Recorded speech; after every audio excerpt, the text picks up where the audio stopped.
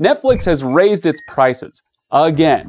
All right, so now we got to figure out is Netflix still worth it with the new pricing? That's what we're going to dive into today. We'll talk about Netflix's new pricing and compare it to some of the other streaming services that are its competitors and see if it is still king of the jungle when it comes to on demand streaming. Let's dive in.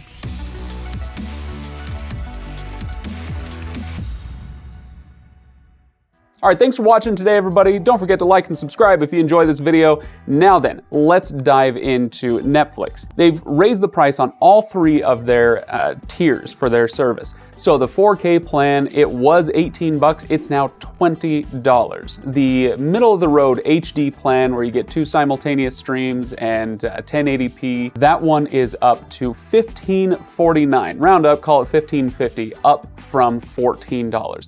And the standard definition plan with only one simultaneous stream, that one is now at $10 where it was at 9 Okay, so gut reaction here is obviously it sucks when somebody raises their prices like this. However, when I stop and think about it, it's not that crazy. Every 12 to 18 months they're raising their prices.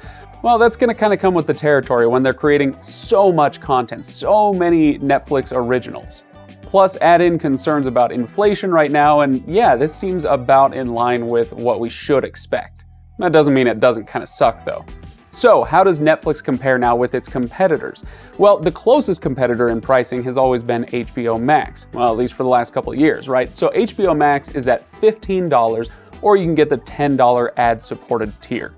Hulu similarly is at $13 or 7 for the ad supported tier. Discovery Plus and Paramount Plus both do the same thing with Discovery Plus coming in at 7 and $5 and Paramount Plus coming in at 10 or 5.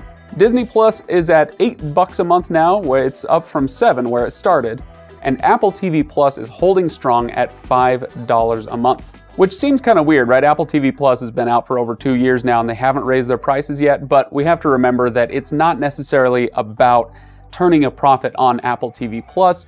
Apple TV Plus is really just meant as a way to make uh, their devices, Apple devices, a little stickier. So it's you know, harder to quit, you know, your iPhone or your iPad if you can watch some great content on it. But for the rest of these, though, I think these companies are more concerned about turning a profit. Either way, which ones are worth it? Well, obviously, that's going to be kind of up to you and what content you want to watch. So if you love reality TV or unscripted TV, Discovery Plus is a no brainer. If you love premium kind of HBO style content, obviously you've got HBO Max, but Apple TV Plus, definitely worth it as well. And Netflix, let's take their middle tier here, the HD package at $15.50 a month.